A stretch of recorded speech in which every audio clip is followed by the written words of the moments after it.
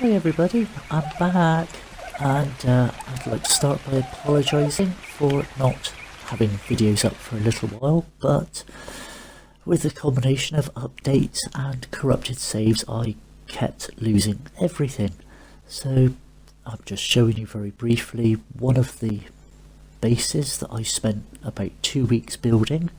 I call it Skyrider City and I almost had it finished and then we had a corrupted file on the server and I lost everything and it kind of killed my enthusiasm for building. However, the no clip um, mechanic that has now been added allowing us to put foundations deep into the floor and other fantastic things has reinvigorated my enthusiasm for building on Ark. So here we go again. Uh, on today's video I'm going to show you how to do gradual steps into a building. Okay, so we start off with a foundation, surprise surprise, pillar in the middle, and that will drop the next foundation down a single step. And now we do a foundation to the side.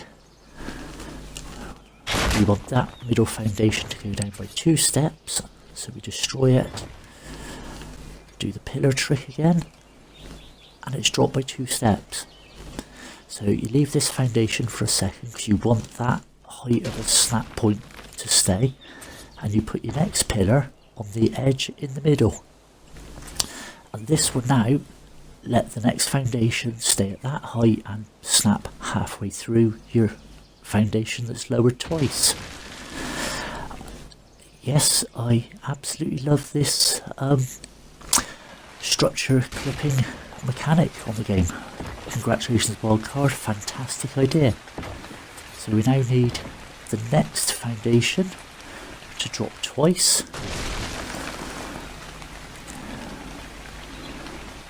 As you'll see I do make a few little mistakes as I do this because I'm still trying to work this all out as I go along.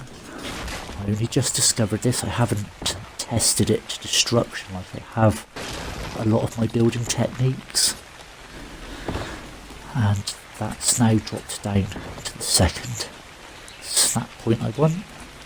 Sometimes you just have to go out to the side away from your structure to get far enough away and get the right snap point as I've done there. And there we go, I've just placed that on the halfway point and it should, yes, so you always remember to try to keep up your different snap points until you've finished using them. So I don't need that anymore, that can go. Don't need that anymore. And I don't need this one. So I now snap the next foundation to the lowest point there.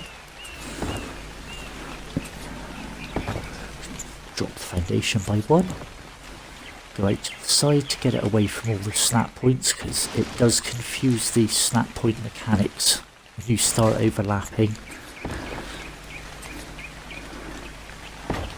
That is now dropped down by two. They can be destroyed. That's my final step. As you can see here I destroyed the wrong height of foundation because I'm not getting the snap point in the place I want. So I have to recreate that snap point. So I'll just destroy those. Nope, not pillar at the back. I want that pillar in the middle. And now, that's the snap point I should have left. Now I put the pillar on the edge of the foundations.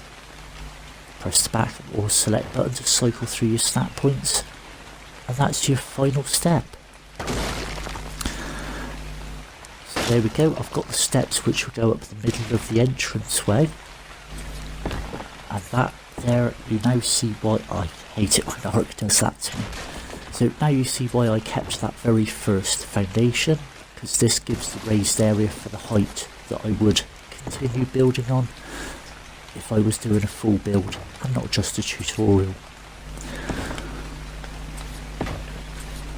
So there we go, you can just place these foundations at the highest snap point now. Press the back button or select cycle through and there we have the steps for the entrance to my structure. How cool. Okay, so we have the steps completed there. Just to show you what it would look like on the front of a base, I should do a quick entrance. So, just to help me visualise the centre of where the steps are, I destroy the foundation. And then try to line those up as central as possible. Replace the foundation. Now at this point I want to place pillars to narrow the doorway and it will only let me snap the pillar to the centre to get round that fence foundation. We'll create a new snap point either side and with the no clipping you can now clip these through the um, dino gates without any issues and without the pieces turning red. So there we go. And now we just start placing the walls. As this is the entrance, I want the wood on the inside, so do the wall again, press the Y button or triangle to rotate the building piece. Quickly throw the walls up. Same on the other side. Not forgetting to hit the Y or triangle button just to flip it around. Now you can't place a, see a, a wall there, so the solution which I always let slip is ceilings. So you just snap your ceilings to the top of the walls, go over the gap where you can't place the ceiling, and then you hang it down.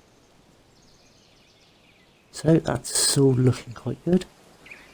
Now previously I would have had a problem placing the gate without having this no clip function on. And I can now start putting some torches. Oh, oh fantastic. Now previously, until that update, you couldn't place torches onto those behemoth gates. Yeah, that's that wants to snap to the behemoth gate. That's brilliant. Oh, so as I've got the fly command on, because it's on my private world, I can place one right at the centre. Oh, fantastic. So now I'll just get everything lit up just to show you how it would look. I'm quite rapidly discovering several new techniques, so there will be more videos about this no-clip method. When you load your game up, go onto your settings menu and it's one of the tick boxes right near the bottom of the left hand tab as you set up your game options. So finally I'll just switch it to night time so you can see how it would look all lit up. Now this did take me a little while to type the command in because I dropped the joypad as I was recording. there we go, set time of day to midnight. That's how it looks at night. Lovely. So there you go. Hope you enjoyed it.